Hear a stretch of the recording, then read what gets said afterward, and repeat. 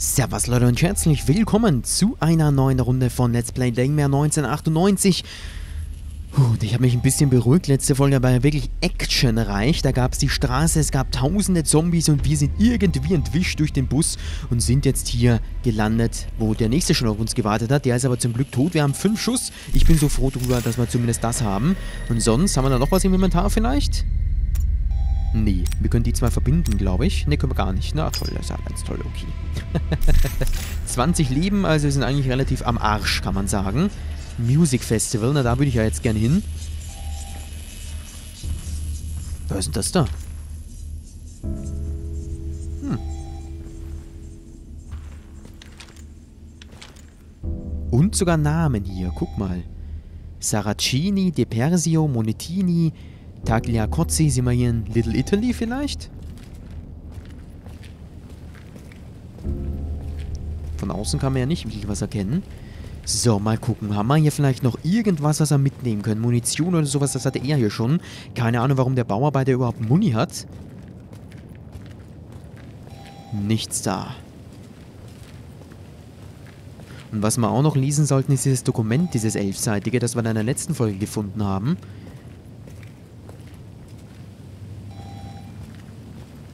Wo kommen wir da jetzt hin? Can't remember the last time I saw this court so empty. The kids used to practice out here religiously. So, was ist mit dem da? Der steht sicher gleich auf, oder? Last Chance.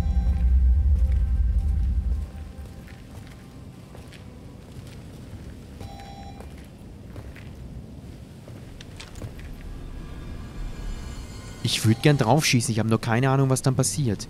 Da unten haben wir irgendwas liegen.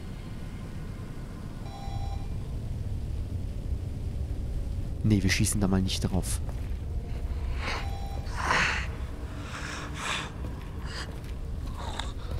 Ein Army-Soldat auch noch. Aber wir können ja den einmal ruhig rauflocken und probieren irgendwie umzuhauen. Vielleicht funktioniert's ja. Einschließen werden wir den dann nicht können. Wir haben ja keine Tür, die wir aufmachen können.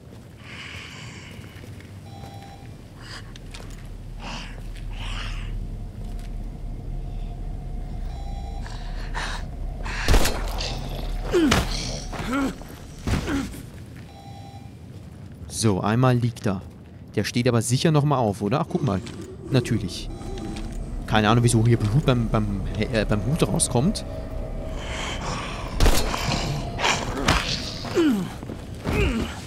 So, liegt ein zweites Mal. Das so fahren wir eigentlich relativ gut. Einmal schießen, einmal down. Hm? Bewegen tut er sich noch. Ein bisschen. Aber ich glaube, den haben wir. so, das wäre mal einer von dreien da unten. Der steht nicht mehr auf, nee.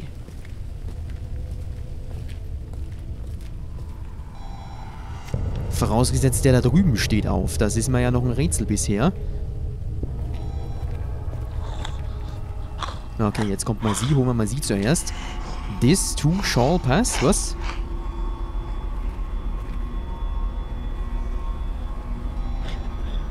Ob wir da unten überhaupt hin dürfen zu dem Gas, ist mir eine andere Frage. Und wieso sind wir eigentlich immun gegen das? Wieso hat uns das nicht auch schon erwischt? Wir waren ja auch in der Stadt. Eigentlich mitten in der Stadt.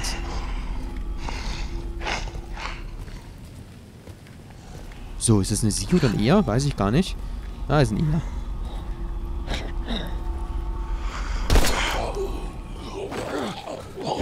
Ach so, das war schon, ne? Das war ja easy.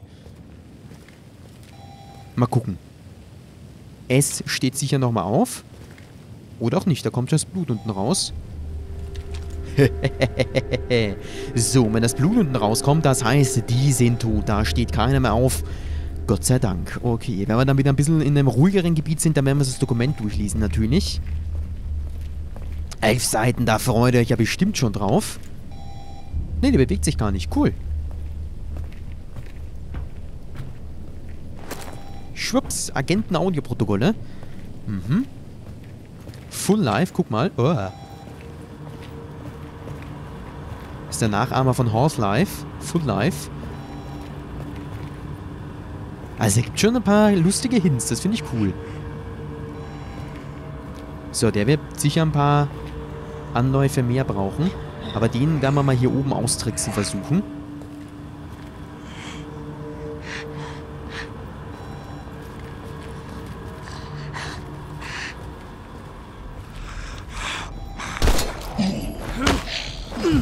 So.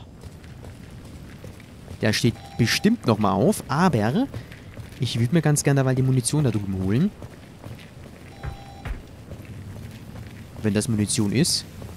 Willst du mich verarschen? Da ist gar nichts. Äh. Scheiße. Da drin liegt eine Capri-Sonne. So, und ich schätze mal, um da durchzukommen, müssen wir den Strom abstellen. Kommt der? Gar nicht? Da ist das Gas. Mich würde es ja schon interessieren, was passieren würde, wenn wir drauf schießen. Aber ganz ehrlich, wir haben eh so wenig Muni. Da probieren wir mal gar nichts.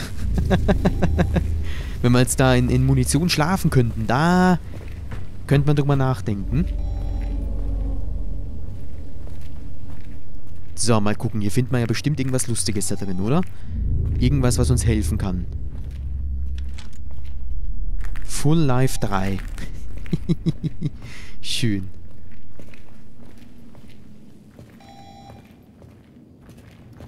Was haben wir da? Dartpfeile, da können wir vielleicht auch mal abschießen.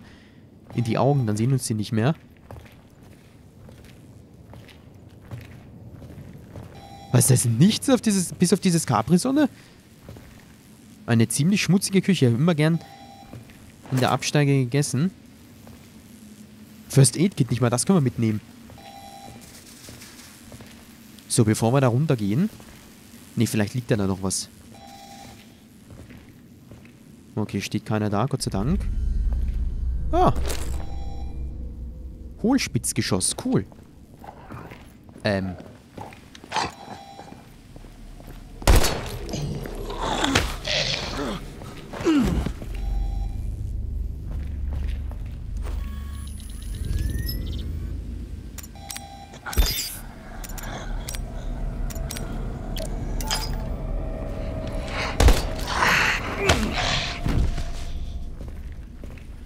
Das klappt echt gut. Schnell aber die Capri-Sonne hier getrunken, bevor uns der dann angreift und wir sind erst wieder tot.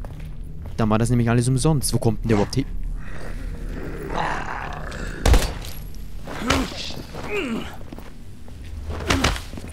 Huch.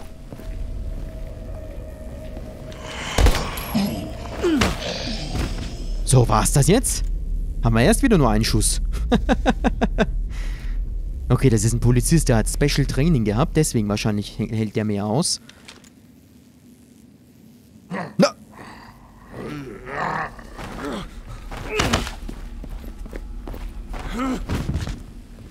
So, jetzt lieg mal da unten. Der steht wieder auf. Was haben wir da für eine gammelige Munition?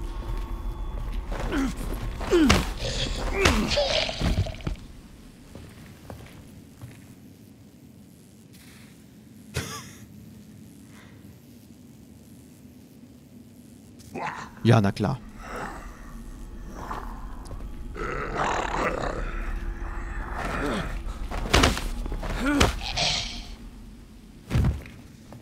So, was ist da jetzt? Ein Barcode oder was hat der jetzt da hingetan? Vielleicht war es ja das jetzt endlich.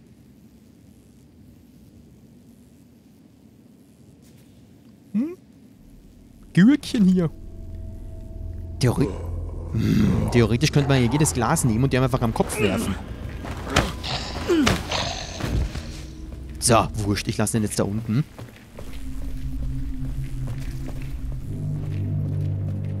Bevor wir dann noch 18 Mal auf den draufhauen.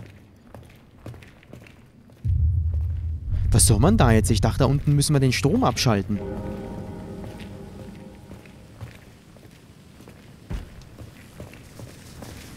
Oder müssen wir hier einfach vorbei? Na, das wäre natürlich auch eine Idee. 50 Leben, einen Schuss. Ich glaube, viel schlechter ausgerüstet kann man gar nicht sein.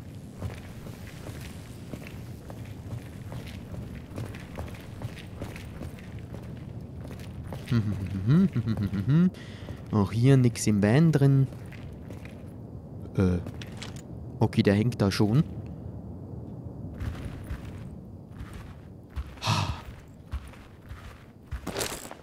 Acht Schuss.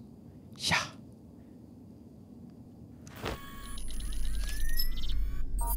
Oh, das ist ja für eine andere Waffe. Hm, vielleicht ja für die da hinten. Nehmen wir doch mal mit, das Schätzchen. So, da sieht die Sache schon anders aus. Damn it, Joe. You were a good friend. Oh. I wish I could have. Scheiße, das war einer, der ihn gekannt hat. take this with me. Kacke, aber zumindest kann man mit seinen Waffen verteidigen. Also uns. Sales Gun für 150 Dollar. Rifle für 250 Dollar. Ach, guck mal, da können wir den Strom abschalten. Okay, also ich glaube, hier sind wir halbwegs sicher, bis auf das, dass der Bulle da jeden Moment wieder reinplatzen könnte. Der irgendwie überhaupt nie stirbt.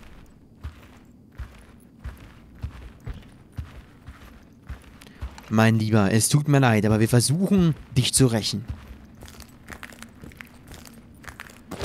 So. Zuerst mal plündern wir da alles. Damit wir auch Erfolg haben beim Rächen. Passt. Ich glaube, das wäre soweit mal alles, was wir mitnehmen können. Hier liegt noch was. Joes letzte Notiz. Es fällt mir schwer, etwas niederzuschreiben.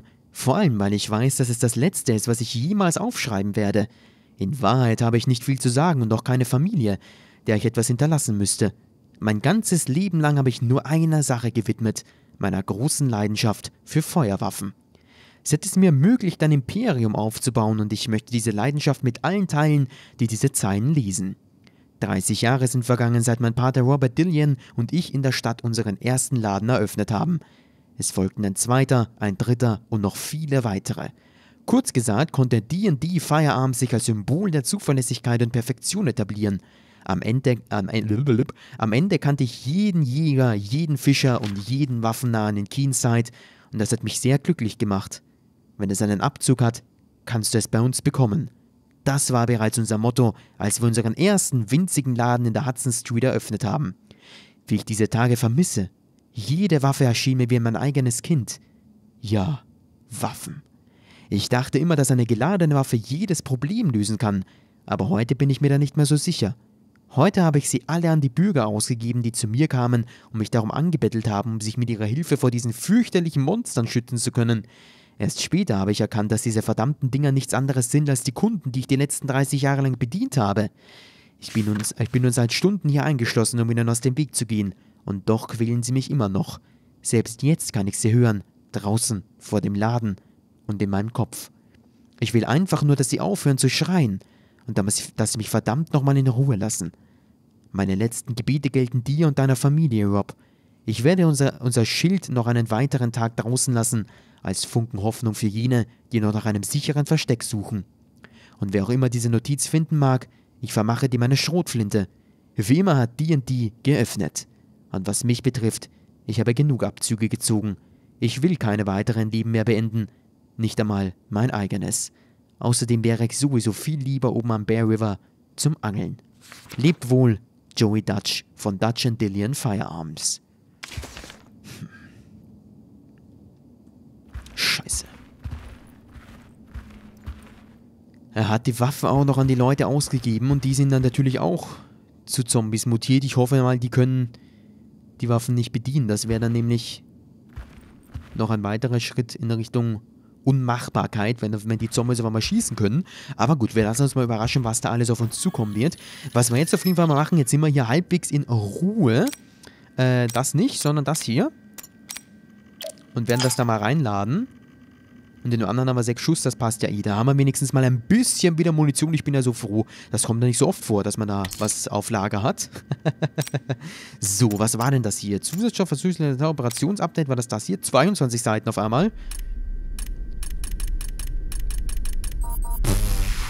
Na gut, dann fangen wir mal an. Ich glaube nämlich, das ist das, nur hier hat natürlich schmaler geschrieben. Deswegen sind es gleich mal 22 Seiten. Betreff Operationsupdate, hohe Priorität. Achtung, Colonel NR Jessup. Äh, Colonel, ich hoffe, diese Nachricht erreicht dich, bevor es zu spät ist. Wir haben soeben Informationen vom Verteidigungsministerium erhalten. Die Quarantäneoperation in I8 konnte, könnte schwieriger sein als erwartet. Ihr werdet euch womöglich nicht nur einer Bevölkerung gegenübersehen, die unter einer bloßen Infektion leidet, sondern vielmehr dem Resultat eines chemischen Angriffs auf die Vereinigten Staaten. Laut unseren neuesten Informationen könnten die Bürger von Keenside alles andere als wehrlos sein, da die Gase sie in tödliche Killermaschinen verwandeln können. Im, Anfang, äh, Im Anhang findest du alle Daten, die wir zu diesem Thema gesammelt haben. Ich hoffe, sie erweisen sich als nützlich, wenn ihr auf den Feind trefft. Die Transformation des Probanden durch CS3-03 Castorgas durchläuft zwei einzigartige Entwicklungsstadien, die als Phase 1 und Phase 2 bezeichnet werden. Die Hauptursache für den nächsten Entwicklungsschritt hängt vom genetischen und physischen Aufbau des Probanden ab. Castor wurde eigentlich für militärische Zwecke entwickelt und seine, Binde und seine Bindekraft hängt vom physischen und biologischen Zustand des Probanden ab. All das in Kombination mit dem Ziel, spezielle Gene auszuwählen, führt zur Transformation in eine tödliche, unaufhaltbare Biowaffe. Sollte der Proband nicht über diese wandlungsfähigen Gene verfügen, sorgt das Gas für einen raschen Zerfall der Zellen. In diesem Fall wird der Proband in eine biologische Monstrosität verwandelt, die kontinuierlich verrottet und häufig in dem eigenen zerfallenden Körper gefangen ist. Eine Sache, die du noch wissen solltest, äh, die du noch wissen solltest, ist, dass Typ 7 andere nicht infizieren kann da Castor eine chemische und keine Viruswaffe ist. Darüber hinaus führt jede Infektionsphase 72 Stunden nach der Stunde Null den Moment, an dem das Gas eingeatmet wird, zum Tod, aufgrund des kompletten Zusammenbruchs der Zellstruktur. Das heißt, wenn wir 72 Stunden vor dem Typen warten, verreckt er automatisch. das ist ja gut. Da finde ich, find ich gut. Da müssen wir gar nicht mehr umschießen. Wir warten einfach mal 72 Stunden, machen wir eine extra lange Folge. Und dann sollte er umkippen. Phase 1 von Stunde 0 bis Stunde 12. Diese Mutation äh, ist bereits nach wenigen Minuten abgeschlossen, nachdem das Opfer dem Castorgas ausgesetzt war. Mentaler Zustand. Sobald ein Mensch das Gas einatmet, beginnt ein umkehrbarer, äh, unumkehrbarer Vorgang physischen Zerfalls, der umgehend extreme Aggressionen auslöst. Physischer Zustand. Zu Beginn der Infektion bleibt die humanoide Form beinahe unverändert, doch die Säureansammlung im Blut und Gewebe steigt so stark an, dass es zu Haarausfall und Gewerbe, äh, Gewebeschieden kommt. Gewerbeschieden. Große, schwarze, violette Adern kommen zum Vorschein und haben die am stärksten, äh, entheben die am stärksten mit Venen oder Arterien versorgten Bereiche hervor, während die Haut ihre natürliche Pigmentierung, Pigmentierung verliert und grau wird. Die Augen werden leer und milchig. Falls es zu keiner Transformation zu Phase 2 kommt, erleidet der Körper dennoch einen qualvoll langsamen und unumkehrbaren Hautverfall, der innerhalb von 72 Stunden zum kompletten physischen Kollaps der Kreatur führt. Gegenmaßnahmen. Da es sich bei den Infizierten im Grunde um Menschen handelt, haben sie alle Schwächen des menschlichen Körpers, Gehirn, Herz und so weiter, auch wenn sie in ihrem Zustand über eine außergewöhnliche physische Resistenz und Schmerzunempfindlichkeit verfügen. Diese Charakteristika in Kombination mit ihrer unvergleichlichen Geschwindigkeit und Grausamkeit machen sie vor allem in Gruppen besonders gefährlich. Sie können jedoch mit Schusswaffen mittels Enthauptung und mit Sprengstoff getötet werden, sofern lebenserhaltende Bereiche getroffen werden. Phase 2. Das heißt also, Kopfschüsse und Schüsse ins Herz sind tödlich. Okay. Und mit Sprengstoff natürlich, aber das ist ja ganz logisch, da zerplatzen die dann einfach. Phase 2 von Stunde 12 bis 24. Die Mutation der nächsten Phase, auch korrekt der Form genannt, wird zwölf Stunden nach dem Kontakt mit dem Castorgas erreicht. Genau genommen beginnt der chemische Wirkstoff nach den ersten paar Stunden, sofern die erforderlichen genetischen und physischen Voraussetzungen vorhanden sind, den Gencode der Probanden komplett umzuschreiben. Mentaler Zustand, der Infizierte hat inzwischen jede Spur von Menschlichkeit verloren, während sein Körper, der allein von gewaltsamen Impulsen gesteuert wird, zu einer Waffe wird, die mit Hilfe ihrer Knochen angreifen kann, die sich zu scharfen Schneidewerkzeugen entwickelt haben. Ihren Angriffen liegt keine Kampftechnik zugrunde, durch ihre, doch ihre bloße Kraft, Widerstandsfähigkeit und Blutlust machen das wieder wett. Physischer Zustand? In dieser Phase wird der gesamte Körper des Infizierten von Säure befallen, die, Adern, was, die ihre Adern über die Haut austreten und häufig aus, ihren, aus ihr herausplatzen lässt. Dadurch verändern sich die Farbe des Infizierten sowie das Aussehen seines Gewebes.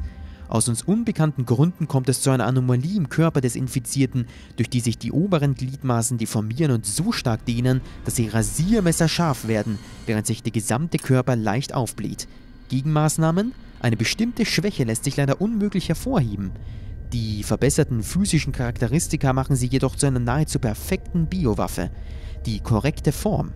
Ein einziger Infizierter kann eine ganze Gruppe Soldaten töten. Der einzig sichere Weg, einen Infizierten der Phase 2 auszuschalten, ist mit Hilfe von Schusswaffen, durch Enthauptung oder mit Sprengstoff möglich, bis er völlig wehrlos ist. Hm. Das heißt also, diejenigen, die hier in Phase 2 entwickelt werden, das sind die, die theoretisch auch entwickelt werden sollen. Das sind die Kampfmaschinen, die geplant wurden, mit diesem Gas zu entwickeln. Jetzt haben wir sie, nur leider gegen uns gestellt. Aber wir haben auch noch den falschen Typ 7, der entwickelt sich nämlich von Stunden 24 bis 48. Diese Mutation tritt 24 Stunden nach dem Kontakt mit dem äh, Castorgas in 12 Stunden und 12 Stunden nach Phase 2 auf. In manchen Fällen löst der chemische Wirkstoff nach den ersten 12 Stunden in der korrekten Form weitere genetische Anomalien aus, die den Säuregehalt im Körper weiter ansteigen lassen, bis er für den Infizierten selbst schädliche Folgen hat. Mentaler Zustand Weder Vernunft noch Instinkte. Der Infizierte wird nur noch von Aggression angetrieben und zu einer Waffe, die tödliche Säure über Körperkontakt oder Spucke abgibt. Er kann außerdem mit seinen rasiermesserscharfen Klauen angreifen. Diese Charakteristika machen ihn extrem gefährlich. Physischer Zustand. Während der Transformation löst die vom Körper produzierte Säure die gesamte obere Körperschicht, äh, Körperschicht auf, wodurch es zu Hautüberlappungen mit möglicher Entwicklung von mit Säure gefüllten Blasen kommt. Große Bereiche der Muskulatur sind freigelegt, während es zu einer deutlichen Veränderung der oberen Extremitäten kommt. Hände und Arme werden unnatürlich lang oder schmelzen komplett ab und hinterlassen nur die Knochen. In dieser Phase wird die Bewegung des Infizierten im oberen und unteren Quadranten eingeschränkt, die sich aufgrund des schmelzenden Gewebes buchstäblich mit dem restlichen Körper vereinigen, auch wenn Infizierte in manchen Fällen immer noch aus der Ferne Säure verschießen. Gegenmaßnahmen: Je stärker die Transformation, desto schwieriger ist sie zu besiegen.